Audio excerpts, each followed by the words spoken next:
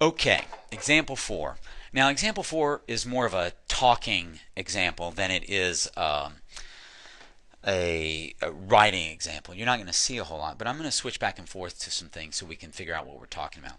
Guys, remember domain, the domain goes with the x's, right? And range goes with y. Okay? Now, A says describe the domain or the x's and the range, the y's, of the function y equals 2 to the x, which is graphed in example 2. Now I'm going to pop back to example 2 for a minute, and let's look at this. This is y equals 2 to the x. And I wish I had a pointer that I could use here, you know. But looking at this graph, here, let's look at the, oh, I don't want to do that. Okay. Looking at this graph, never mind. What can x be from here to here? Okay, I can plug in any x I want. There's not an x that I can't plug in, right? So the domain, the x's, are all real numbers. I can plug in any number for x in y equals 2 to the x.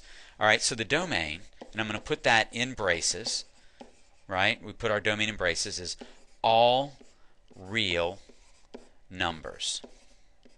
Okay, there's a little abbreviation for that. It's an R with double lines. That means all real numbers. Okay. Now we need to talk about the range of y equals 2 to the x. Okay, we're going to go back at that graph and I'm going to look at its range. What can its y's be?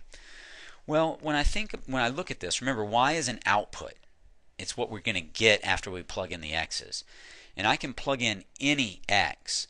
But looking at this looking at this function right here, y equals 2 to the x, is there any exponent that's going to make 2 negative? It's never going to be negative. Not only that, it's never going to be 0. It could be 2 to the negative 6 trillionth. And all that would be is 1 over 2 to the 6 trillionth. And that'd be a terribly small number, but it wouldn't be 0 it would be something greater than 0. So no matter what the x is, the y is always going to be positive. So my answer, the way I would write it is all real numbers such that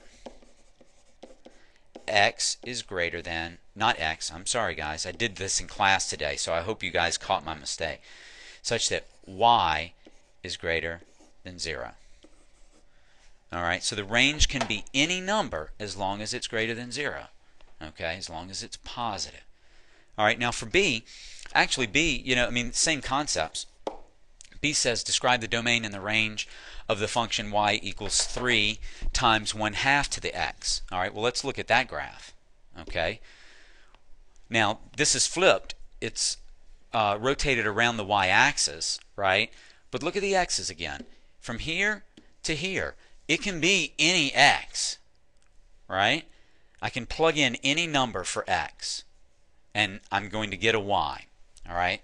So the domain for the b function, I'm going to write domain, is all real numbers. There's not a number that I can't plug in, okay? All real numbers. But now its range, let's look at that. Let's go back to the graph and look at that again.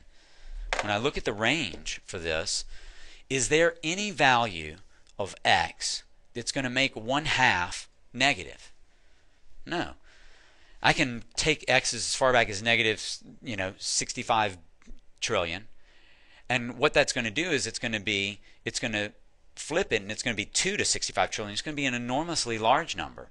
Or I can take that, that exponent and make it 65 trillion positive and that's just going to make it a very small number, but it's not going to be 0. And then I'm going to multiply by 3. So again, the range, the y's, when I plug that in, I'm always going to get a number that is positive, that is bigger than 0. So my range for this is all real numbers such that y is greater than 0. Okay? That's it. Okay, good job, guys. I think you're ready for your homework. Go for it.